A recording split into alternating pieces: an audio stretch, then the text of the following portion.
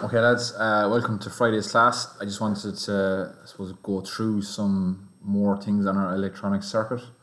Um, again, don't forget that our assignment was due today. Just one small thing you need to remember. So, your assignment of photographs of all the notes we've taken for the last week, they need to be into the class today. Uh, I'm just going to go back over quickly enough now about some of the stuff we talked about. So, we have done our work now on Ohm's law. All right, so Ohm's law again is your voltage, current, and resistance. And I just want you guys maybe to take down this page of notes again because I want to add in another power form and a triangle into it as well. But uh, I'm going to move on with the fact that we are able to calculate resistance, current, and voltage based on information that we get in questions. And to be honest, that's probably a junior cert, maybe fifth year type stuff. We need to add in more items here now, things like our power formula. So uh, when I say power, okay, when I say power, power is measured in watts.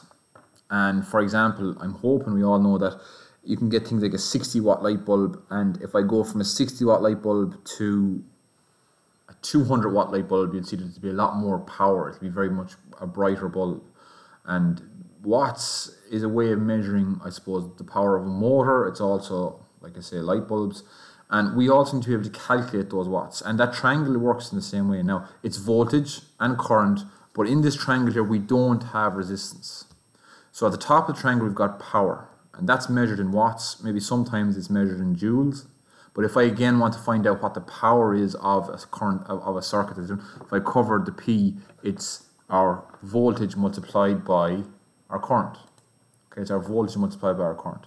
And again, if I want to find out what the current is, it's power divided by voltage. So you'll see that as, as, as the further we go. Now look, I am looking for these bullet points and these triangles to be into your notes copy. So you've got that bullet point power is measured by watts, and then you've got more power is equal to stronger motors, brighter lights, uh, and so on. I'm also going to put in here for reference, I'm getting some of this information from, and it's something for you to look at yourself, is page 234 in the book. Now, page 234 in the book is fine, it's very detailed, uh, I'm trying to give you a simpler version of it, maybe a bit more accessible. When you're happy with the stuff that I've talked about today, then look at page 234 and it might be a little bit less daunting for you guys when you're looking at it. Okay. Um, now, let's just start off with a fairly straightforward and simple circuit. Okay. So the circuit here, and this is the circuit they have talked about on page 234, but it's a simple enough question. It's looking for to find the power that's in the circuit. So if, for example, I was to fire a motor in here just to jump it in at the, at the end of this circuit, if I was to put in a motor at the end of that, what sort of power would that motor be getting? How strong would that motor be going? If I was to have a 3000 ohm resistor and a 10,000 ohm resistor and a 5,000 ohm resistor, if they were all to be part of this circuit before the power got to the motor, what sort of power would the motor be getting? All right, and I'd like for you guys, if you could, to draw out that circuit. It is on page 234 in the book as well, but let's just put it in. And I'm hoping that we understand that our current is flowing in this direction here. It's going up like that, and it's flowing all the way around, and it wants to get back to its battery. It wants to get back to its power supply. And there will, there will be, of course, a voltage drop or a current drop after each of these resistors and it could be a question that we get to later on, maybe to measure the current drop that happens at this point. But for today, I'm just looking at what, what current, what power gets to the motor at the very end. Okay, now I'm going to go back to our, okay, some of the stuff we've done over the last couple of days. We have got to calculate the total power of the whole, the whole, sorry, the total resistance, excuse me, the total resistance of all of those resistors when they're lined up. Now, those resistors are in series. And the formula we've talked about before is if the resistors are in series, you just add one to the next to the next. 3K turns into 3000 ohms, 10K is 10,000 ohms, 5K is 5,000 ohms. So when they're laid out in this sequence, it's just plus 1, plus 2, plus 3, add the three of them together, and you should end up with 18,000 ohms, and sometimes that might be written as 18K ohms. Okay, so that note may be going to your notes copy as well. And that's not difficult. Uh, like that's my third years are working away with that stuff fine. This should this should be straightforward enough when it comes to see. It's just three resistors in series, calculate the total resistance, and you add them all together. Now, I'm going to go back for a second here. Now, we want to find our power. We want to find our power. But if I go to our power triangle, nowhere is there anything about resistance. Now we're just after calculating the total resistance, but I can't use it.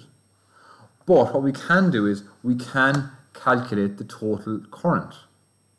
We have got a voltage which is 9 volts above and we have got a total resistance. So our 9 volts divided by 18,000 ohms and our sums just end up here being 0.0005 amps. So if I take our 9 volts divided by 18,000 ohms, that'll become 0.5 milliamps. 0.5 milliamps. So now what we've got is, we've now got our current, we've got our I, we've got our V from the top up here, V is our 9 volts, which is here, and we've got our V and we've got our I, so it's going to be as straightforward as, if we want to find our power, it's going to be voltage multiplied by current, which will be 9 volts multiplied by that 0.5 milliamps, and then all of that works down at 9 volts multiplied by, and we should be keeping these in amps. So I'm just going to, it's stuff we talked about yesterday, and it came up in a question that, that kind of caught me out a little bit. But our, our amps, when we're doing all of our, our formulas, you have to bring them to amps. And you have to bring them to you know a full amp and full volts and full ohms. So it's it's actually going back to our 0.0005 amps. So it's 9 volts multiplied by 0.0005 amps that'll end up being point 0.0045 watts. And just a shorthand way of putting that is to bring our decimal point to jump into three places it's going to be 4.5 milliwatts. Okay? So like it's it's using the first formula to help us get all the stuff we need for the second formula and then it's bringing it together. So as we go forward with all this chapter, you're going to have to think of both of these triangles side by side all the time. Okay? It's going to be something you're going to need for the whole thing. Now, I am going to expect that all the stuff I have here, maybe you want to divide it into two pages, but I want CDs in your notes copy, both these things. And when you're happy with all this now, and I'm hoping maybe you need to go back and look at it again or watch me explain it a second time. But when you're happy with this, then I need you to go to page 234 in the book. They actually make it shorter again, but they'll end up with the same formula, they'll end up with the same, sorry, they'll end up with the same circuit, and they'll end up with the same answer, but they, they go through different formulas. To be honest, I think the way I've done it is more simple. Um, there are more complicated ways of bringing it together, but it's up to yourself if you want to use that or not. Okay, and I'm just going to go back over what I said there about our notes copy. So if we could, lads, if you could add this into those photographs for the assignment as well for today. The assignment is open until four o'clock. If you can add these two pages in to your notes, that's it. Okay.